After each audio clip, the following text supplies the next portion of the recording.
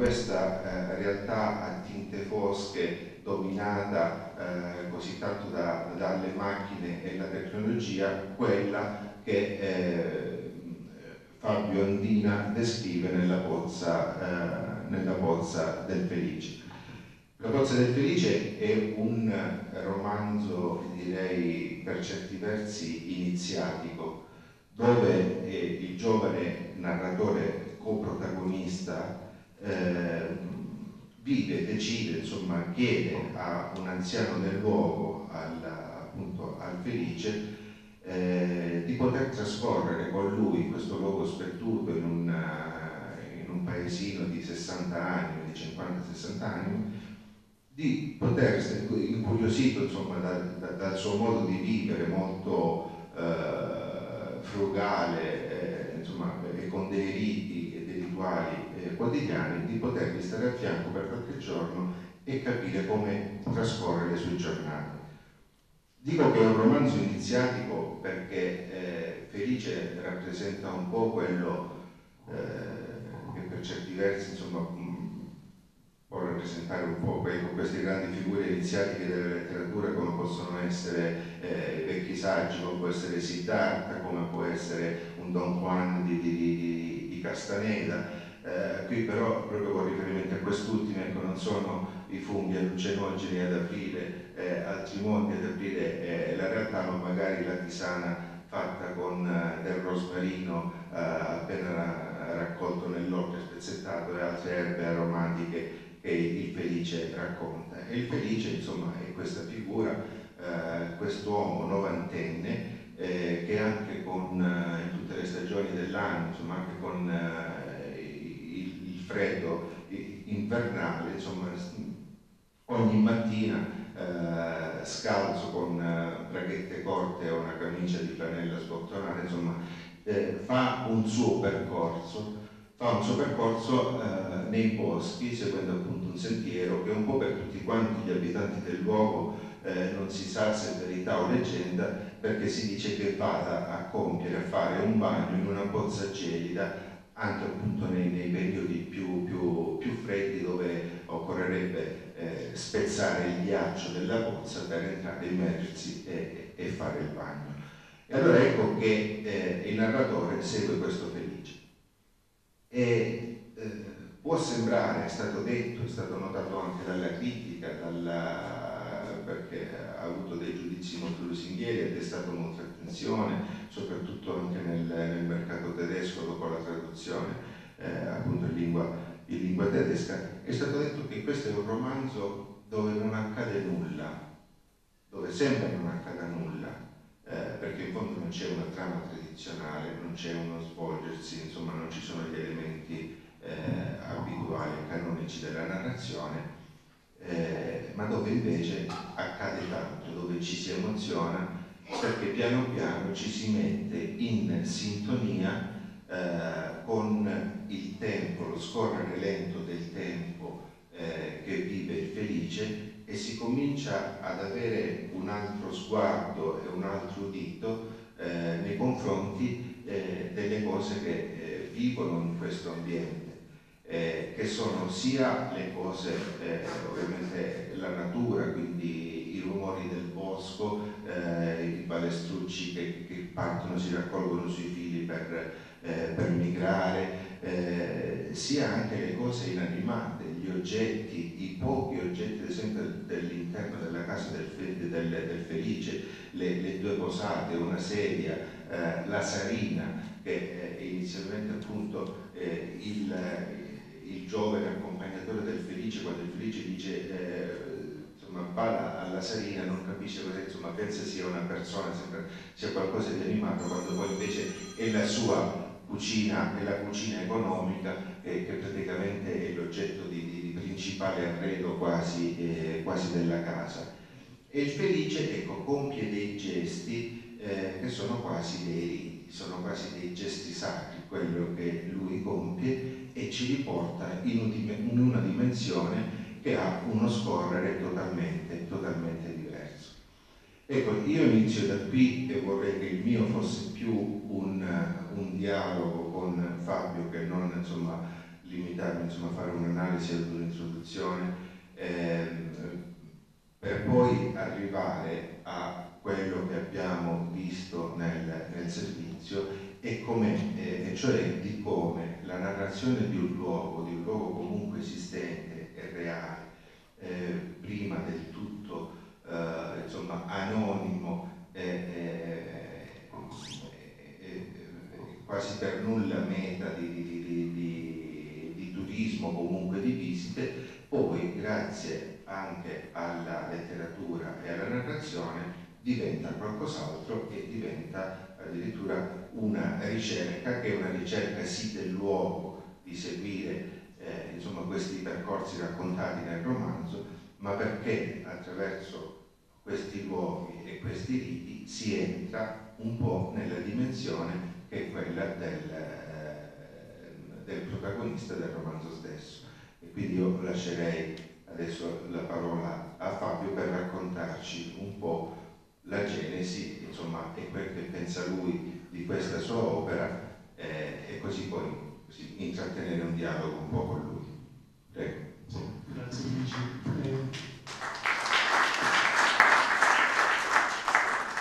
Eh, eh, buonasera e soprattutto grazie dell'invito. Eh, mi ha fatto piacere, molto piacere ieri mattina salire su un aereo a Bergamo per volare giù qui da voi. E, che dire, il romanzo La puzza del felice è nato per una curiosità. Eh, nel paese di Leontica, paese di pochi anni, di una sessantina di anni, paese che, che, che, non offre tanto, quindi paese che si sta spopolando, paese vissuto e abitato soprattutto da persone anziane. Io abito in questo paese e da quando io sono nato i miei genitori hanno comprato una baita in questo paese, da prima era la baita di vacanza, ma adesso è casa mia, e girava la voce da sempre che il felice ogni mattina si alzava presto, estate o inverno, pioggia o vento o neve, per andare a immergersi in una pozza d'acqua gelida di un torrente su in cima alla pineta, su in cima in montagna. E questa curiosità mia di sapere, di scoprire se davvero esisteva davvero questa puzza, eh, ha dato là al, al romanzo. E quindi la domanda che io pongo al Felici nel romanzo, se esiste davvero o no questa puzza, la, do, la risposta la do eh, scrivendo, perché io a lui non ho mai fatto questa domanda diretta. Io non ho mai voluto chiedere a lui se è vero che ogni mattina ti svegli per andare a fare il bagno in questa pozza e non gliel'ho mai voluto chiedere per un motivo semplicissimo, perché se una persona all'alba dei 90 anni si sveglia alle 5 di mattina di novembre, fuori fa freddo, 0 gradi, nevica, e cammina un'ora per andare a immergersi in una pozza d'acqua gelida al buio, sicuramente non lo fa per lavarsi e secondo me lo faceva, lui lo faceva come un atto spirituale. No? E quindi se questo atto spirituale voleva essere, io non volevo, eh, non volevo, non volevo entrare nella sua se era qualcosa che doveva rimanere suo personale. Allora l'ho immaginato, l'ho scritto e romanzando ho voluto raccontare quello che è la, quello che era questa sua routine quotidiana dell'andare in pozza per bagnarsi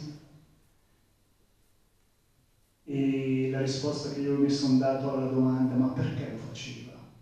No. Perché alla fine io ho, ho realizzato che sì, era vero, andava a fare il bagno, ma perché lo faceva? Secondo me lui lo faceva per rimanere in contatto con qualcosa di mistico, di spirituale. E la risposta che io mi sono dato è, questa. ed è venuta dopo aver scritto il romanzo la mia risposta. No? È, interessante come piano piano durante le presentazioni, parlando alla gente e analizzando il romanzo, analizzando quello che la gente pensa del, del, del romanzo, io sono uscito con questa conclusione. Allora, la mia, la mia conclusione è questa. L'acqua esiste su questo pianeta Terra da milioni di anni, è sempre la stessa acqua. L'acqua si modifica, passa da stato liquido a solido a gassoso e gira nel mondo, è sempre la stessa acqua. No? Quindi io sono sicuro che quest'acqua che sto bevendo è un'acqua che forse 100.000 anni fa era in un laghetto della Patagonia. È probabilissimo, è, è molto probabile questo. Quindi io mi dico questo, se lui entrava nel, nella pozza e toccava quell'acqua, lui in un qualche modo voleva rimanere in contatto con un qualcuno, magari con i suoi genitori deceduti, perché noi siamo fatti per l'80%, il nostro corpo è fatto per l'80% d'acqua, quando noi ricediamo l'80% di quest'acqua evapora, eh? torna in circolo. Quindi l'acqua, nel mio immaginario, l'acqua collega tutti noi. No? Se io tocco quest'acqua posso credere che tocco i miei antenati e allora io voglio credere che il felice faceva il bagno in questa pozza per rimanere in contatto con qualcuno e da quando il felice è deceduto e io ho scoperto dove è la pozza, ora vado io a fare il bagno nella pozza per rimanere in contatto con lui. Io quando faccio questo discorso alla gente la, la induco a pensare che questa cosa è vera e c'è gente che mi ha raccontato di essere andata in pozza, essersi spogliati, immersi e di, e di aver pianto.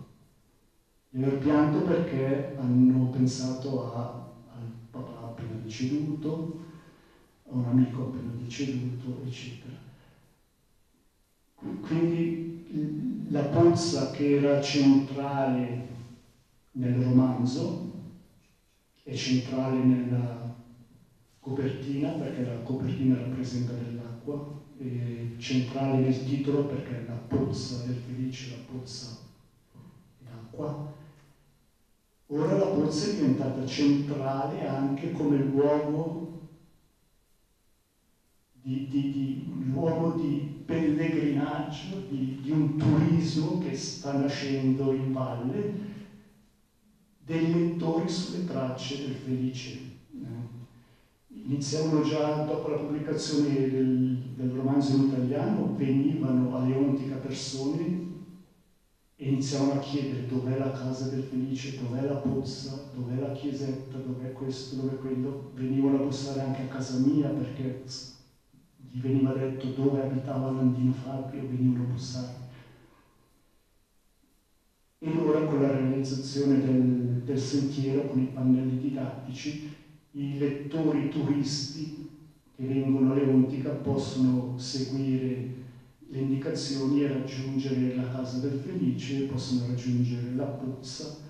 e questo ha dato un movimento abbastanza grande al paesino e, e alla valle in generale. Si stima che più o meno 100 persone al giorno, al mese, vadano alla pozza il che è qualcosa di notevole se pensiamo che prima questa pozza era sconosciuta ai più. Quindi per legarci a quello che dicevamo prima, da un romanzo e dall'intuizione di alcune persone che hanno voluto ideare la pozza. Ha creato un po' un'economia eh, che non esisteva, insomma, luogo di un'area interna che rischiava, che era insomma avviato all'abbandono e che forse grazie anche a un'opera letteraria insomma eh, si è ribaltata, si è ribaltata un po' questa, questa tendenza, questo destino.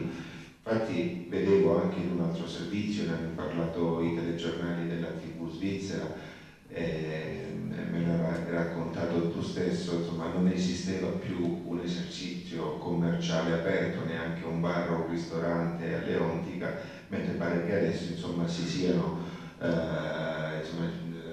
si stiano avviando a riaprire eh, di, nuovo, eh, di, nuovo, un bar si stiano innescando dei, dei, dei sistemi, eh, dei, meccanismi, dei meccanismi virtuosi. come ad esempio, e qui ti invito anche a raccontarlo, insomma, è un luogo eh,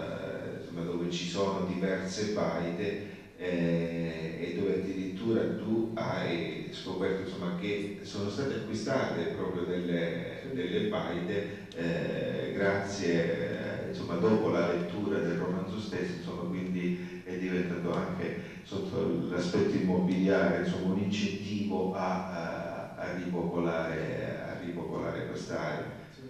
No, questo, questo, è vero, nel, nella regione, nella, sul pendio dove, so, dove sorge il paesino di Leontica, ci sono sparse centinaia di baite abbandonate.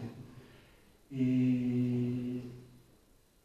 la maggior parte di queste baite sono in vendita, no? sono rustici da comprare, restaurare, riadattare per poi passarci le vacanze, perché vengono comprate come case secondarie. E un esempio che vi posso portare è questo. Io L'anno scorso, nel mese di maggio, sono stato invitato a un festival letterario della Svizzera tedesca a presentare La Pozza del Felice. Sabato di dieci giorni fa ero a Reontica, passa questa signora, Fabio, ciao, mi dice, era la direttrice del festival letterario al quale io ero stato invitato, che dopo aver letto il libro si è recata in valle, col marito ha girato, ha visitato, ha guardato e hanno comprato un rustico, l'hanno, messo a posto e vengono a passarci le vacanze. Quindi questo è un esempio eh, lampante che un, almeno un rustico è stato comprato perché qualcuno ha letto il romanzo, si è interessato, è venuto a vedere il paese, la regione, si è innamorato del luogo e ha comprato un rustico. Senti Fabio, io sono oh, contento insomma, eh, che tu sia venuto a trovarci, che insomma, abbia potuto conoscerci così da vicino, insomma, nella nostra realtà. Eh, nei giorni scorsi abbiamo fatto insomma, una visita anche nella, nella tipografia, insomma, visto insomma, quanta gente al lavoro, abbiamo scoperto, abbiamo visto anche su una pedana, c'erano copie del tuo libro, insomma, in, eh, in ristampo, insomma, quindi sono eh, felice anche di, di, di, di, questo scambio che si è creato, insomma, eh, che tu ti sia così un po' avvicinato alla nostra, alla nostra realtà, è un modo per, per conoscersi e per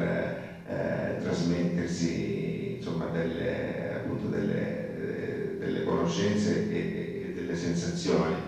e, chissà che magari questo qui non ispiri anche te, insomma, come un po' i, insomma, la residenza di artisti che si ispirano un po' alla, alla creazione di, di, di, opere d'arte insomma, nel parco eh, che verranno installate nel parco, chissà che non ispiri anche a te insomma, un'opera letteraria o qualcosa, insomma, un racconto o altro insomma, che poi può concretizzarsi in, eh, in narrazione in, eh, in, future, in future, tue, tue opere. Eh,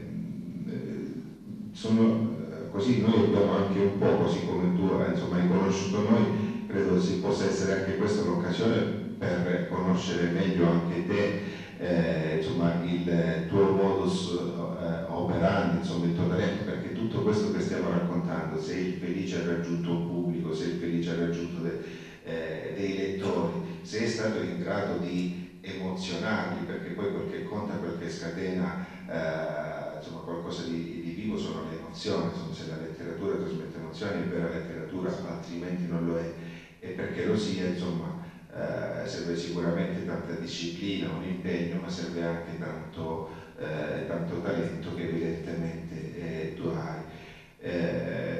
Eh, io giusto per insomma, dire due parole su di te e, e presentarti insomma, al nostro pubblico,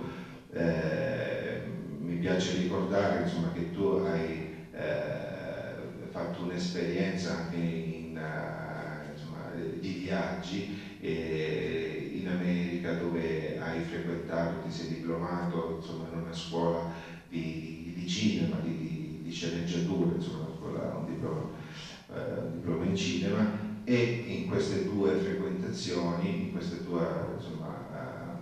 stare, vivere per un periodo in America, ha anche frequentato eh, scrittori, artisti, tra questi eh, il poeta Ferlinghetti, uno insomma, massi, dei massimi esponenti della Beat Generation, il quale ha letto anche delle tue cose, ti ha consigliato, vi siete confrontati e dal quale anche a tuo modo hai assorbito degli stilemi e dei modi eh, creativi che erano proprio della Beat Generation, cioè quelli del, del flusso di coscienza, del, eh, dello scrivere di getto, ecco, quanto ti ti è, servito e quanto lo ritrovi in quello che oggi fai, insomma, nei racconti, perché ecco, poi parleremo anche dell'altro tuo libro, insomma, dal, da dove è chiaro che comunque ci sono, hai attinto sicuramente a questi grandi, a questi grandi esempi, a questi grandi esempi letterari e artistici. Beh, Lawrence Ferlinghetti, eh, io quando sono arrivato per la prima volta negli Stati Uniti ero a San Diego, a San Diego ho frequentato il college, al college un professore di psicologia della letteratura mi ha fatto innamorare della Beat Generation, quindi ho iniziato a leggere Kerouac, Ferlinghetti, Ginsberg, William Burroughs, Gregory Corso, Diane, di Prima e assiduamente ho iniziato a tuffarmi dentro in questa, in questa questa filosofia della Big Generation, mi affascinava il tutto, il loro modo di, di, di vivere la vita. No? Io avevo 22 anni, quindi a avere come modelli di, di questi grandi mostri sacri della letteratura mi, mi ispiravano. Poi quando mi sono trasferito a San Francisco per continuare gli studi di cinema alla San Francisco State University, il primo giorno che sono arrivato a San Francisco non potevo ancora entrare nella, nel, nel, campus universitario, dovevo aspettare tre settimane. Cosa ho fatto? Sono andato alla City Light Bookstore, eh, fondata da Ferlinghetti, e ho cercato il, il, l'ostello più vicino L'ostello più vicino era a più o meno 200 metri nel, nella, nella Chinatown di San Francisco. Mi ci sono installato per tre settimane e tutti i giorni li passavo al City Light Bookstore e al Vesuvio Caffè con la speranza di incontrare Ferlinghetti. Quando l'ho incontrato gli sono saltato addosso, sono andato da Ferlinghetti e gli ho detto guarda, sono italiano come te, eh, scrivo, scrivo poesie, devi leggere le poesie. Ha voluto leggere le mie poesie, mi ha, mi ha accolto nel suo ufficio. Il giorno che io sono entrato nel suo ufficio è stata una, rivelazione, cioè in quell'ufficio ci erano passati tutti gli scrittori, c'erano passati tanti musicisti che io seguivo, che io seguo tuttora, dai musicisti legati alla Beat Generation, no? come Jim Morrison, Charlie Parker, eh, Miles Davis, oppure anche Jim Morrison, eccetera. Cioè io ero in quell'ufficio, tremavo, mentre lui mi ridava dattilo scritto con le poesie che, che aveva letto e queste erano state le sue parole. Le tue poesie mi piacciono ma sono troppo cupe, però continuo a scrivere. Queste parole a me hanno, non dico che hanno cambiato totalmente il mio... però sono stati un incentivo grossissimo, un personaggio come Ferlinghetti che ti dice continua a scrivere, per me è stato, un obbligo, io adesso devo continuare a scrivere. E da lì io ho sperimentato sempre di più e l'ho fatta mia l'arte dello scrivere a flusso. Poche parole, scrivere a flusso vuol dire lasciare andare i pensieri e, e, e riportare quello che il cervello detta, sperando che il cervello detti molto velocemente, riportarlo su, sulla macchina da scrivere o sul computer o, o a mano.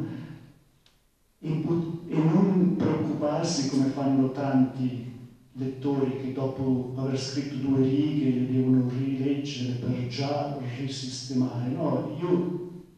funziono che scrivo magari anche 20 pagine al giorno non le rileggo, il giorno dopo ne scrivo altri 20, non le rileggo, quando ho 100 pagine di una bozza, di una storia che potrebbe funzionare, allora la riprendo e la rileggo. E questo è, è anche come è, nato, eh, come è nato il romanzo La pozza del felice. La pozza del felice è, è nato di getto, io in 6 o 7 giorni ho scritto la, la bozza di 120 pagine e poi ci sono ritornato e l'ho riscritta e l'ho, e l'ho riletta e riscritta per un anno e mezzo. Questo è il mio modo di lavorare e tuttora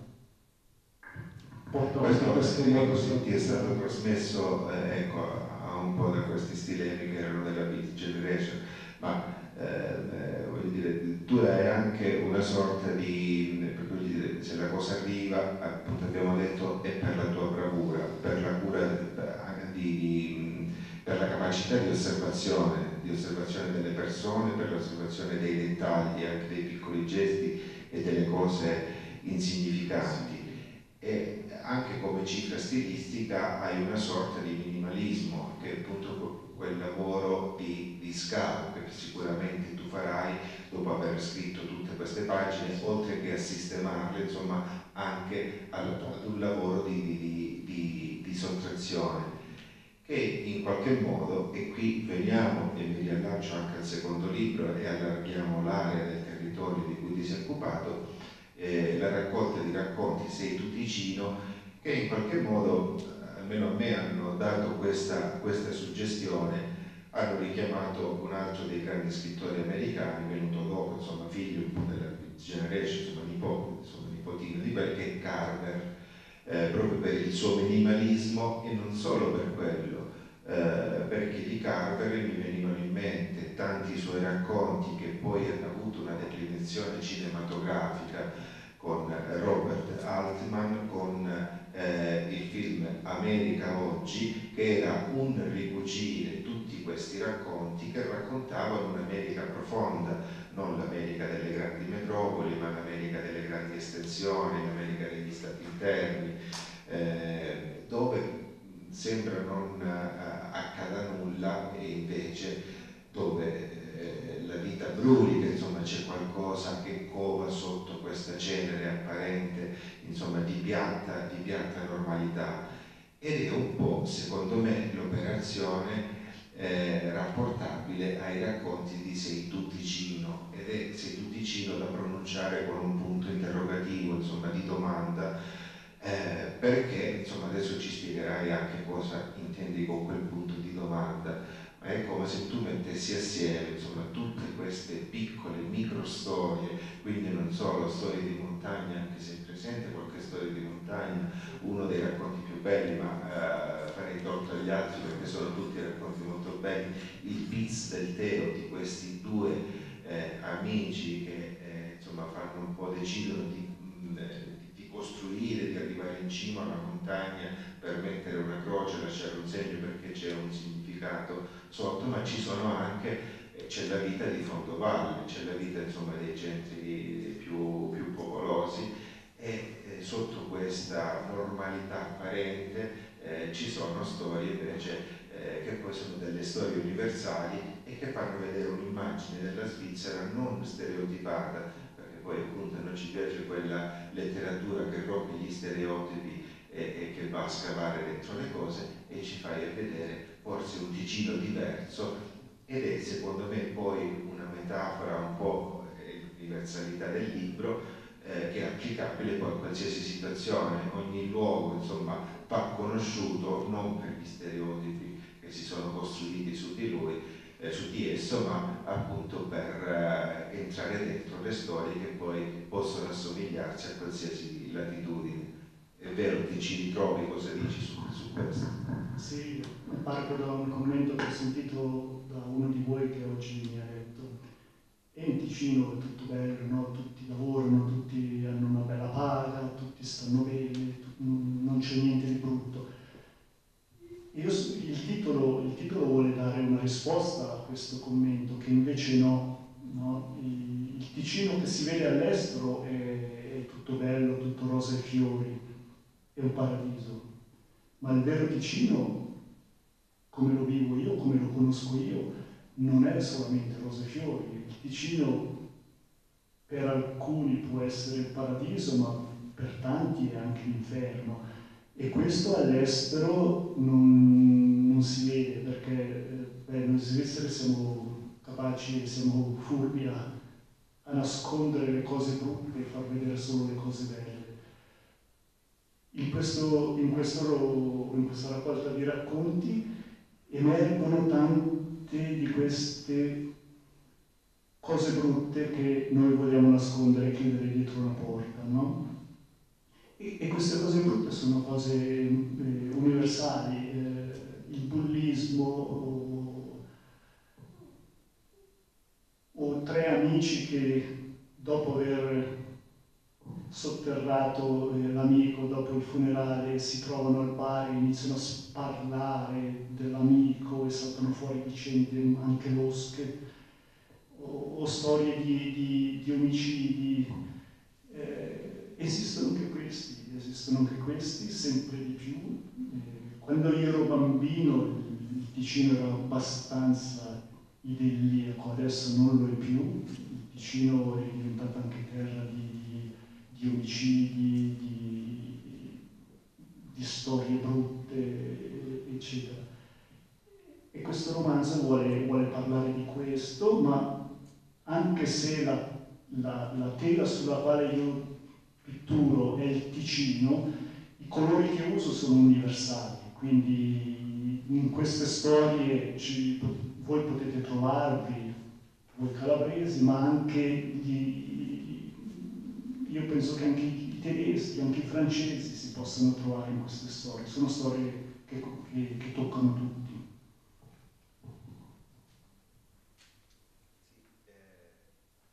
Per eh, avviarci un po' alla conclusione, eh, data l'ora,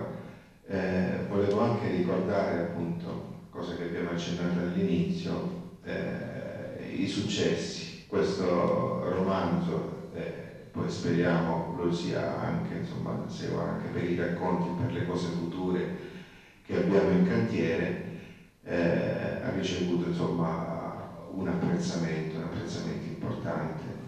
eh, soprattutto appunto abbiamo detto l'edizione tedesca e in un certo senso forse perché è un libro, anche se è meditato, creato, eh, ovviamente in tempi non sospetti, almeno confrontandomi anche con, con l'editrice zurighese insomma, dell'edizione tedesca, lei diceva, ah, dice, noi siamo stati, insomma, è stato il libro giusto al, al, momento giusto, nel senso che è coinciso con una grande tragedia che ci ha coinvolti un po' tutti. E nel senso di cosa? Che questa pandemia, i nostri lockdown, insomma, ci hanno un po' accelerato una cosa alla quale sicuramente eh, eravamo eh, portati a pensare, hanno accelerato la nostra riflessione, hanno accelerato una nostra meditazione su quelli che sono i nostri eh, comportamenti quotidiani, le cose che, che, che, davvero contano, alle quali dare priorità o eh, per esempio ci, ecco, è, è, un dato che durante, durante questi periodi di lockdown ci sono stati meno sprechi alimentari perché sicuramente abbiamo avuto più tempo per pensare, per soffermarci su determinate cose e abbiamo dato anche valore a eh, determinate risorse, capire che non sono finite, che dobbiamo salvaguardare noi stessi e il pianeta. Ecco, e un po' credo che il felice, il successo anche del felice, eh, c'è stato perché c'è stata questa voglia di, di mettersi il felice che aiuta in sintonia con quelli che sono i ritmi della, i ritmi della natura e l'essenza stessa, i valori della natura e l'essenza stessa dell'uomo e uno scorrere lento rispetto alla frenesia, alla frenesia del, del, mondo moderno, come diceva una famosa eh, reclama. E, e, niente, da questo libro appunto, oltre all'audiolibro, oltre alla versione digitale, l'edizione tedesca, l'edizione francese, è uscita da pochi giorni, non ancora in libreria, ma è uscita tipograficamente l'edizione spagnola. Eh, da Seitu Ticino ci sono stati i radiodrammi per eh, la, la, la TV la, radio svizzera, insomma è stato sceneggiato un primo racconto e sono stati, è andato in onda e sono stati sceneggiati anche gli altri racconti che andranno in onda da qui a, a breve. E abbiamo anche in cantiere eh, insomma altre cose per una possibile anche riduzione cinematografica, non del felice questa volta, ma dei racconti e quindi insomma è un percorso che continua, che noi ti auguriamo continui così, un augurio che rivolgiamo a te, ma che ovviamente facciamo anche, facciamo anche a noi stessi. E, e, così, se vuoi così chiudere tu, perché a chiusura poi, eh, o se volete intervenire poi, poi dal pubblico, insomma, prima di, di, di salutarci, poi volevo concludere mandando un altro piccolo breve filmato eh, che testimonia tra l'altro di un riconoscimento importante eh, che la Pozza del Felice ha ottenuto perché è stato anche vincitore di premi del premio eh, Terra Nova della Fondazione Schiller, equiparabile per importanza al nostro premio Strega, insomma è il premio svizzero di grande importanza e eh, volevo concludere con un filmato che è stato realizzato in occasione di un altro importante premio che è il premio Gambrinus insomma, eh, che ti è stato assegnato. Quindi lascio la parola a te e prima di mandare il filmato lascio la possibilità a chi del pubblico vuole intervenire e fare qualche domanda. Beh, eh, io vorrei finire dicendo questo, dicendo qualcosa che sento tanto dai lettori che mi, mi, mi avvicinano dopo le letture che faccio, ancora ultimamente nella Svizzera tedesca, tre o quattro giorni fa, una signora si è avvicinata a me con la coppia italiana la coppia tedesca del romanzo e mi ha detto questo, questo libro è la mia, è la mia Bibbia, mm? Per far capire cosa? Che lei legge e, e, e cerca di, di, di seguire gli insegnamenti che il felice ci dà senza dirci parole ma mostrando qual è, secondo me, qual è la strada giusta da prendere, soprattutto in questo periodo di frenesia, dove tutto va di corsa, dove, dove tutti vogliono avere tutto subito. Felice ci fa vedere che si può vivere benissimo eh, con, con poco, ma con l'essenziale, coltivando soprattutto i pochi veri contatti di, di amicizia ma stando bene con se stessi. E quindi quelle parole che mi ha detto questa signora, eh, il, il, libro e la mia Bibbia, vorrei, vorrei se anche voi, dopo aver letto questo romanzo, potete riallacciarvi a queste parole. E un augurio che vi faccio, eh, io cerco di vivere in questa maniera, io cerco di vivere quel poco essenziale con una vita minimalista, ma soprattutto stando bene con me stesso. È, è qualcosa che si può fare e adesso forse è giunto il momento, adesso in questo periodo frenetico dove, dove la vita sta un po' sfuggendo di mano a tutti noi. E questo è il mio augurio, che si possa un po' ritornare a, a vivere come vivevano i nostri vecchi saggi nei paesi. Grazie.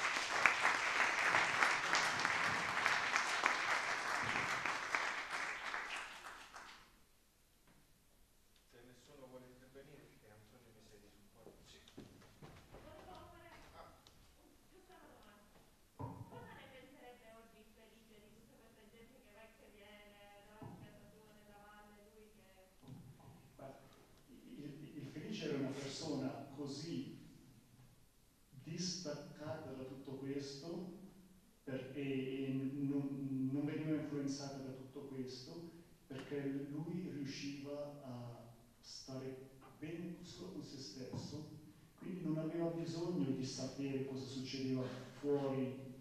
dal suo paese, non gli interessava neanche, lui era raggiunto a un momento della sua vita dove aveva, aveva guadagnato la, la fe, quella felicità interiore, no? Quindi quando tu stai bene con te stesso, tutto il resto viene, viene in, secondo, in secondo piano, forse neanche in secondo piano. Lui stava bene con i suoi rituali giornalieri, con i suoi rituali seguendo le stagioni, eccetera. Io tante volte lo definisco che me lo immagino come uno di quei buddisti su in un monastero in cima alla montagna, staccato dal mondo, ma felice con se stesso dentro di sé.